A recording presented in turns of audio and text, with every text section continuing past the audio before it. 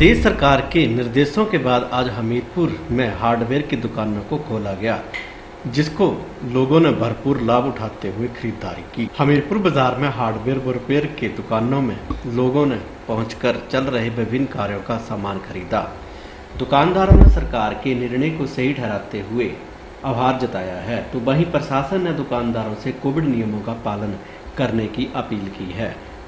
हमीरपुर में रिपेयर की दुकानें करने वाले चित्रांजल वर्क्स के मालिक ने सरकार का धन्यवाद किया और कहा कि इससे घर का काम करने में इस्तेमाल होने वाले खराब उपकरणों को ठीक करने में लाभ मिलेगा। उन्होंने कहा कि प्रवासी मजदूरों के द्वारा विभिन्न उपकरणों के सहयोग से काम किए जा रहे हैं और उनके खराब होने के चलते काम रुक गए थे, जिन्हें अब फिर से शुरू किया जा सकेगा।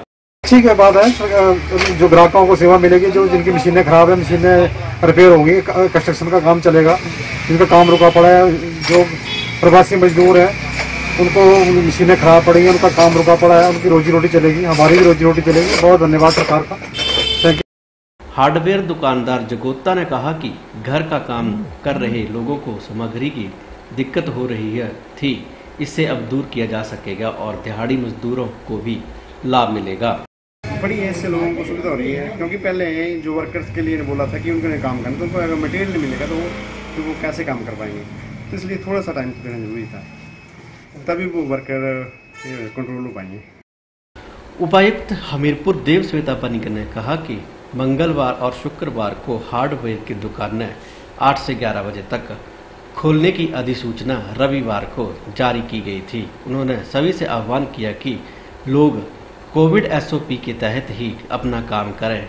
अगर कोई इसका उल्लंघन करता है तो उसके खिलाफ कड़ी कार्रवाई अमल में लाई जाएगी।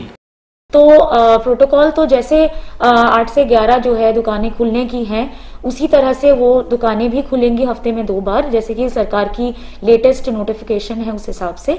और सभी कोविड नियमों का पालन करते हुए भी उनका संचालन जो है किया जाएगा। और किसी भी तरह से जो है अगर कोई कंप्लेंट्स आती हैं, कोविड नियमों का उल्लंघन होता है सोशल डिस्टेंसिंग पालन नहीं करते हैं तो उसमें जो है जैसे ही इसमें सूचना मिलती है, उसी तरह से कार्रवाई की जाएगी उनके खिलाफ।